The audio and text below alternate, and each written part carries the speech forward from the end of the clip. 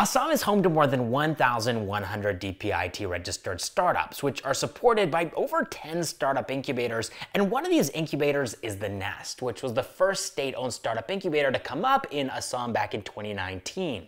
Since then, the Nest alone has incubated more than 250 startups and has even helped them to raise funds as well. And so today, we're going to be taking a look at the top 10 startups from Assam, and we're going to be starting off in the city of Guwahati. Guwahati is Assam's biggest city, and it's also the perfect place in Northeast India for entrepreneurship. It has the market, it has access to talent thanks to institutes like IIT Guwahati and Gauhati University, as well as the Nest, which of course offers support to entrepreneurs. And the first startup that I want to talk about from Guwahati is Zerund. So Zerund is a brick manufacturing startup that was founded by Rupam Choudhury, Mousum Talukdar, and David Pratim Gogoi in 2018. And basically what they're doing is making bricks that are 15 to 20% cheaper cheaper than traditional bricks. On top of that, their bricks are also earthquake resistant, lightweight, and even eco-friendly, but how are they managing to do this? Well, they're actually making their bricks out of fly ash, which is a byproduct of burning coal and other plastic waste materials. They started manufacturing their bricks out of a small facility that they had leased in Guwahati, making 7,000 bricks every single month, and in just the first seven months of their operations, they had already brought in 32 lakh rupees, but that was just the start start. Since then, Zerund has raised 11.5 crore rupees from their investors, and they used this money to expand their production capacity from just 7,000 bricks to 1.5 lakh bricks per month, and they sold bricks worth 2.5 crore rupees in FY22. The company claims that their revenue has grown by more than 4x for FY23, which is estimated to be around 10 crore rupees. Alright, moving on to the next company in this list, but staying in Guwahati, we have a B2B e-commerce platform for restaurants called ChefMart. So back in 2016, Maninder Kalsi and his wife Kavita Verma had started their own restaurant called Three Guys. And while running this restaurant was definitely fun, procuring ingredients was a headache. They had to talk to multiple vendors to get a reasonable price, and oftentimes getting these fresh ingredients delivered on time was a challenge. And as it turns out, they weren't the only restaurant owners facing this problem. And so realizing that there was an opportunity to fill this gap in the market, by March of 2020, they had shut down their restaurant restaurant business, and they had started working on a B2B e-commerce platform called ChefMart, where restaurant owners could simply order their groceries and get them delivered on time without any hassle. Their online platform was finally launched in 2021, and by the end of their first year, they had already brought in 1.5 crore rupees in revenue, and this number went up to 4.2 crore rupees by FY22. These guys are solving a real problem for restaurant owners, and that's the reason why today more than 350 restaurants are using ChefMart to buy their ingredients. Alright, coming up next in Guwahati, we have a 3D modeling startup called My3D Meta. So back in 2010, Harsha P. Deka had started MyWare Solutions while in the United States offering game development and 3D modeling services to his customers. And it was during this time in Harsha's life that unfortunately he lost a dear friend, and he wanted to use photos to create a 3D figurine of this late friend and gift it to this person's parents. But the technology for this process wasn't available at that time, and so in 2016 he started My 3D Selfie to create custom 3D figurines using just 2D photos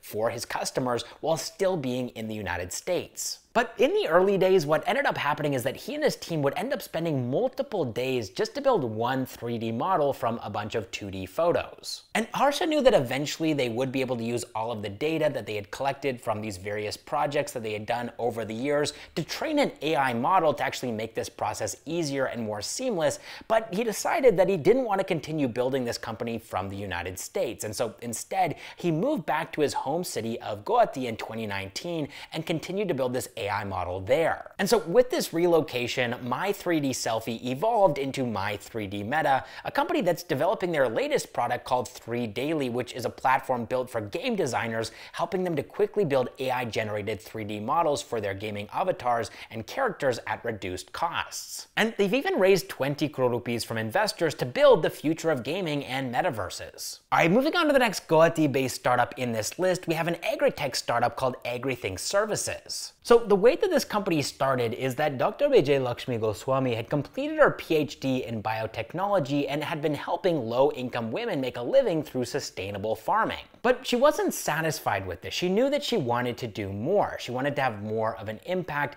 and the only way to improve their farming yield was through something called precision farming.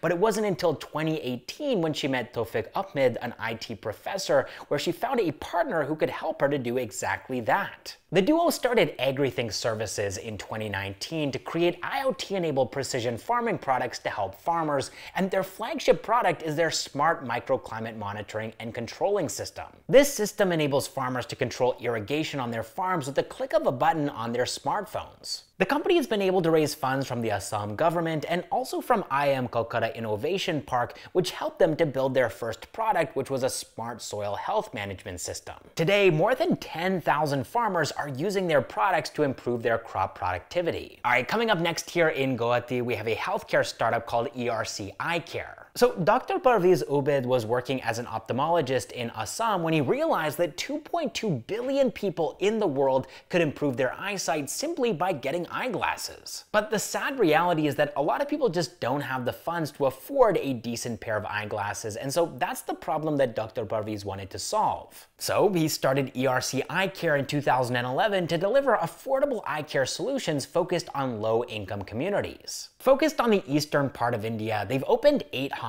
so far where they conduct cataract surgeries for their patients, and also they sell eyewear glasses through their own website. And while other hospitals in tier 2 cities offer cataract surgeries at an average price of 10,000 rupees, ERC Eye Care's cataract surgeries start at just 3,327 rupees, which also includes travel, accommodation, and food charges as well. On top of that, their eyeglasses are sold at a starting price of just 300 rupees. And the reason their prices are so low is because they're on a mission to make them more affordable for people, and basically 75% of their customers are earning less than 15,000 rupees per month. And at first, honestly, I didn't think that ERC Eye Care was even making any money. I just couldn't imagine how they would be able to. But we actually talked to Dr. Parveez, who told us that they didn't just close FY23 with $2 million in revenue revenue, but also the company is profitable. Okay, and now we have the final company from Guwahati in this list, which is an eco-travel startup called Encamp Adventures. The company was founded by Ratan Kumar in 2019 and basically started its journey at the Zero Music Festival where they hosted 50 people at their tents. But since then, Encamp has evolved into providing eco-friendly end-to-end personalized travel experiences for environmentally conscious travelers. In fact, they've even built a carbon footprint tracker which shows travelers their carbon footprint based on the choices that they made during their trip, from the mode of transport that they took to the length of the trip itself. Encamp also allows their customers to choose donations for one of the climate action projects that they're working on in the community to help them offset their carbon footprint. And this startup has already served 10,000 travelers so far and has also raised 1.2 crore rupees from their investors to expand their presence into Nepal and Bhutan. Alright, now we're gonna make our way over to the city city of Dispur, where we have an Assamese music streaming platform called Baahi. And the story of this company really begins in Odisha, so it was while studying engineering at a college in that state that Mrinmoy Kumar dreamt about becoming a civil servant. But later on, he was shocked to see that while Spotify did have music in English and Hindi, there wasn't any big platform for regional music in India. And so in 2019, Mrinmoy got together with three of his friends and started working on a prototype for a regional music platform called Baahi. By 2020, they had launched this platform on the Google Play Store, which was Northeast India's first regional music streaming platform. And thanks to Assam startups The Nest, Baahi was able to get incubated at IIM Kolkata's Innovation Park and even managed to secure 56.5 lakh rupees in funding. This capital has helped them to scale their business and also to launch their own music production arm called Baahi Originals. Today, Baahi has a huge library of 20,000 songs and a subscriber base of 2 lakh users, and while they started with just Assamese music, music, Baahi now wants to become the go-to platform